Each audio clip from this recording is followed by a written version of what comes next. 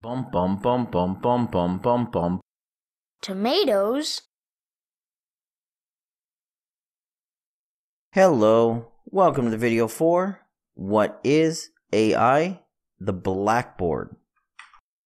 So let's get right into this. This is just a simple overview of what the Blackboard is and what it's used for. It is part of the behavior tree.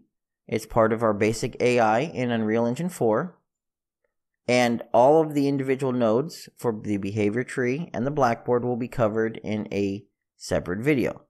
This is just a basic overview of what the blackboard is and how we would use it. So let's get started.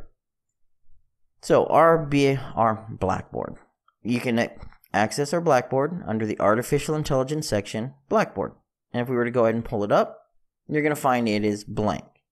You only start off with a couple options on your toolbar the add key option, and then your Blackboard details itself. Now, since you can have multiple blackboards, you can go ahead and use inheritance with parent and child. So you could, for example, select another parent blackboard, like my generic one I've created, and it's going to go ahead and inherit the keys from that. Now, if I go ahead and reset it and then delete my self actor, we're back to our generic blackboard. So that's something useful to keep in mind if you want to have blackboards inherit from other blackboards. Now, what is the blackboard? It is it's a blackboard. It is a chalkboard. It is a piece of paper where you store stuff. That's all it's used for. It's intended to allow your behavior tree to read or set values that can be used in your behavior tree. It's as simple as that. So part of your behavior tree, maybe at the top, will be to find where your player currently is. And another part of it may be determining if your player is even alive. Now, another part of your behavior tree may need to actually do something based on that, such as if your player is alive, go ahead and move to its location. Since these are separate parts, these are separate tasks, or decorators or services in your behavior tree, we need somewhere general to store them. And that's what the blackboard is. It's really simple to use. You basically, new key, choose your type. Let's go with a bool, for example, and then you name it. We'll go with like is player alive.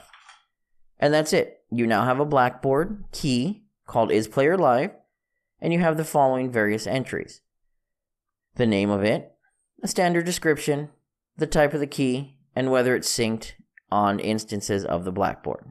So if you create more instances of this blackboard, for example, different AIs, you can use the instant sync to keep it synced across all the different instances. So that way, maybe you have one general Blackboard value called active, and it's synced across all your different ones instead of having to set it individually. So that's what the instance synced is for. And that's it. I can go ahead and add another one. We can name an object like player object, and you're going to find it's the same settings. This is all the blackboard's for. It's just to simply hold a value. Bools are going to hold bools. Objects are going to hold a generic object, so an actor or blueprint or something like that. You have your different other types, classes, floats, strings, rotators, and etc. And that's it. That's all our blackboard is used for. It's just a container to hold values that are used inside of our behavior tree. So for example, let me go ahead and delete these values. And this is our new Blackboard data. Let's call this one test Blackboard. Okay. And let's go ahead and let's create a new behavior tree to show this an example. So we'll create a new behavior tree called test behavior tree. Now if I open up our test behavior tree, I need to assign a blackboard to it. So I'll assign it to our test blackboard. Let's go ahead and drag it off of here and let's create a selector. We're going to add a decorator on top of this called blackboard and we're going to go ahead and basically, if something is set, we want this selector to run. Now, if we go over here, you're going to find none. You have no Blackboard keys. Because the assigned Blackboard has no keys, we can't actually use any keys inside of our behavior tree. So this is why I was saying your behavior tree needs the Blackboard because your Blackboard holds all your values. If we were to go into here, add a new key, We'll call it bool. Let's do this is player live again and save it out. We go back into our behavior tree. Now in our decorator, we have a Blackboard key is player live. And we can go based on if it's set or not. And that's it. That's what the behavior tree uses the blackboard for, and that is what our blackboard is for, holding values. Maybe inside one of our tasks, like let's say, for example, I have a service here. I've already created one, so let's throw this in here called is player live. In here, you're going to see our player live has two variables that we set. One's called is player live, the other's called player object. This is what I name them internally inside of our service right here. This could be called whatever you want. One of the things I noticed was trying to keep things consistent. So for example, if your Blackboard variable is, this is the wrong Blackboard, let's open up this one. If your Blackboard value is is, is player live, then setting your variable inside your service to is player live makes it a little bit easier when you're trying to assign things because it's really simple. Is player live? Set to is player live. You can also really easily see here an error. I have a player object variable I need to set. And inside of here, my player object variable is the location of the player, and it's a vector. But the problem is, inside of my behavior tree, this is my wrong one, let's close that. Inside of my blackboard, I don't have that value. I don't have that variable. So inside, I'm gonna start. There we go. Let's make things easier and close everything down. There we go. So inside of my behavior tree, when I'm trying to assign this variable to a Blackboard value, it won't let me.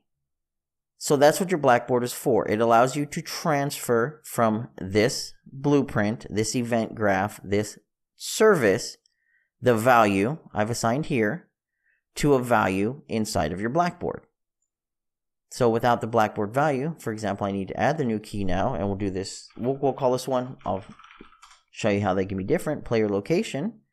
If we go back to here, I now have a Blackboard vector called player location. I now can go into my service and change my player object to be player location. So now whenever the player object is set, which is right here, it's going to set the player location Blackboard value, which is right here. Now it seems a little complicated, and once we actually, once you watch the videos that discuss how these are used, not just why we're using them, but how we're using them and the different ways of using them, it'll hopefully be a little more clear. But to sum it back up, Blackboard holds values, behavior tree sets and reads those values inside of services or tasks or decorators. That's it. So like for example, to show it in task form, we'll do a move to, and you'll see move to player location. And this one's actually pretty simple. If our player live set, we're going to go ahead and update our player location every half a second, and then we're going to tell the AI to move to that player location every half a second. So, I mean, this is another simple, basic AI and an example of how to use our Blackboard and what it's for. If you have any questions or comments, please feel free to leave them below.